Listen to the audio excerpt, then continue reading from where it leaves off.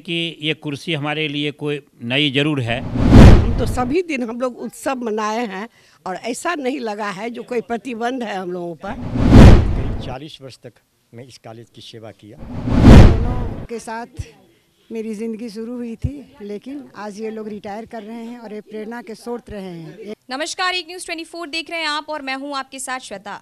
जी, अभी हम रामकृष्ण द्वारिका कॉलेज में मौजूद हैं और बता दें, हमारे साथ यहाँ के प्रिंसिपल अरविंद कुमार भी मौजूद हैं।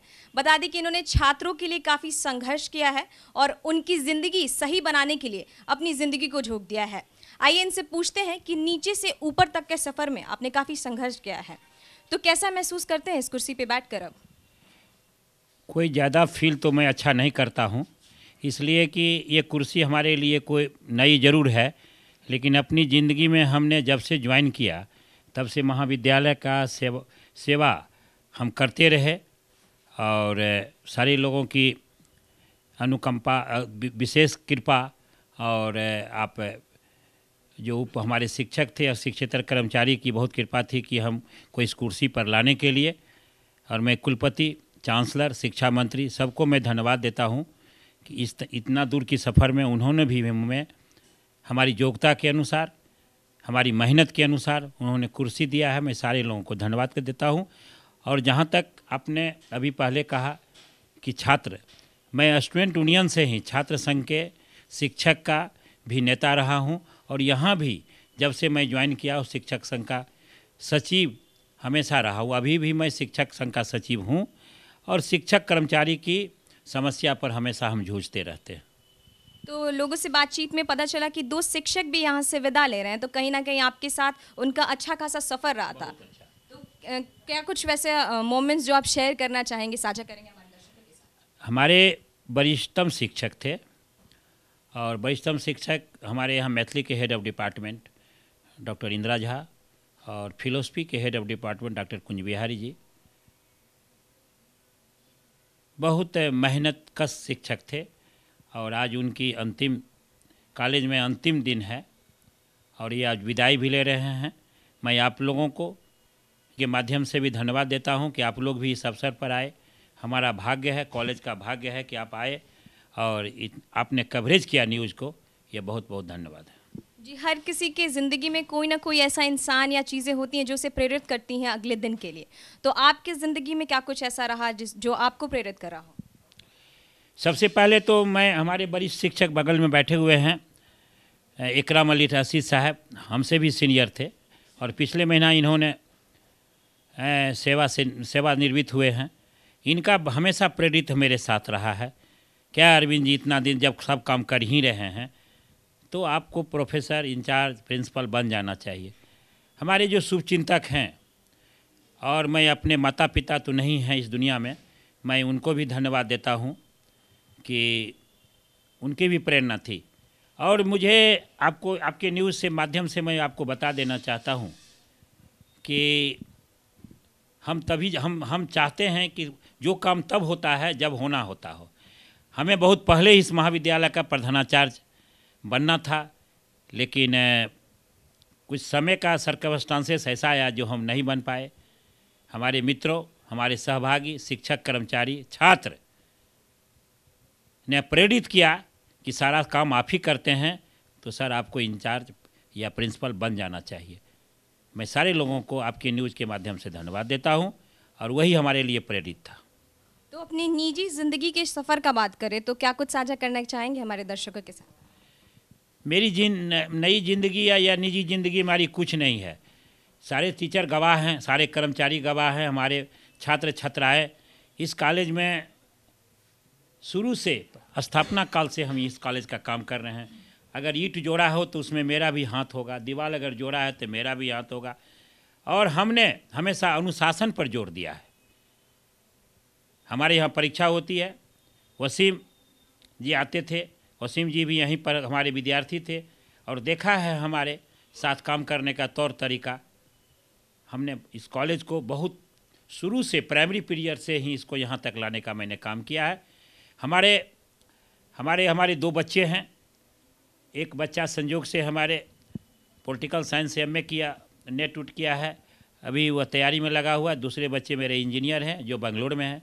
हमारी पत्नी भी संजोग से मिडिल स्कूल के हेडमास्टर है। और मेरी कोई अपनी लाइफ नहीं है ना मेरा यहाँ कोई घर है ना मेरी कोई ज़मीन है जो भी हैं आप हमको देख रहे हैं वही मेरा अपना शरीर है।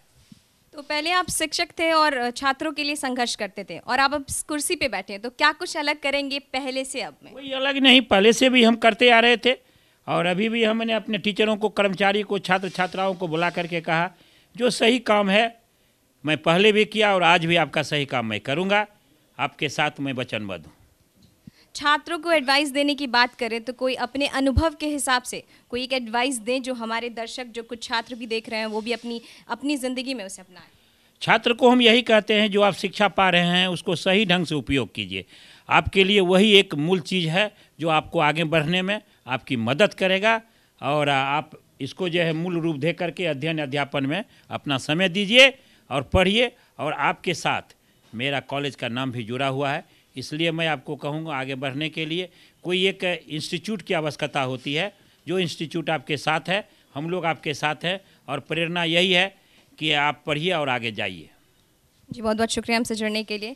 तो ये देखा अरविंद कुमार जी ने अपनी लाइफ के सीखे हुए जो मोमेंट्स थे वो आपके साथ साझा किए उम्मीद करते हैं कि आप भी इनकी कुछ बातें बताए हुए बातें को अपनी ज़िंदगी में उतारेंगे और अपनी ज़िंदगी को संवार लेंगे। हम बात करते हैं दो शिक्षकों से जो आज विदा हो रहे हैं इस कॉलेज से। इतनी लंबी जर्नी रही आपकी। कुछ ऐसे पल जो आप साझा करने चाहेंगे जो कभी किसी को बताया नहीं हो? देखिए, यहाँ पर तो प्रत्येक पल जो है, वो साझा करने योग्य है। हम तो सभी दिन हम लोग उत्सव मनाए हैं और ऐसा नहीं लगा है जो कोई प्रतिबंध है हम लोगों पर। प्रतिदिन हम लोग सारे लोग सहयोगी के रूप में, चाहे वो टीचर हो या नॉन टीचिंग हो, हम लोगों के साथ रहे हैं। स्टूडेंट भी यहाँ के बहुत मेधावी हैं। और एक बात हम यहाँ का देखते हैं, ये पुण्य भूमि है हमारा कॉलेज जैसा इसका नाम है, रामकृष्ण द्वारिका महाविद्यालय। यहाँ से कोई बहुत पीछे हो के नहीं गए हैं, बहुत आगे बढ़े हैं। चाहे तो वो हमारे टीचर हो नॉन टीचिंग हो, या यहाँ के मेरे स्टूडेंट हो अपने अपने क्षेत्र में बहुत आगे कर छात्रों को जीवन संवारने के लिए काफ़ी संघर्ष किया है आपने तो क्या कुछ एडवाइस देना चाहेंगे छात्रों को? हम एक ही एडवाइस करेंगे, जो पढ़ाई जो है, विद्या को जो है, वो जो अर्जन करता है ना, उसकी ज़िंदगी आगे पीछे, कभी भी पीछे नहीं जाती है। इसलिए वो विद्या का अध्ययन सुचारू रूप से करें, और बाकी इसके बाद जो भी सेकेंडरी वर्क है, वो करते रहें। लेकिन जो मूल उनका जो है जो उनको प्राइमरी जो उनको पढ़ना है और विद्या के क्षेत्र में आगे बढ़ने के बाद ही कोई सफलता उनको अच्छी तरह और वो स्थिर रहेगा परमानेंट जी बहुत बहुत शुक्रिया। जी तो हमारे साथ फिलोसफी की हेड इस कॉलेज के मौजूद है जो आज विदा ले रहे हैं इस कॉलेज से। आइए जानते हैं कि वो क्या कुछ पल हमारे साथ साझा करना चाहेंगे।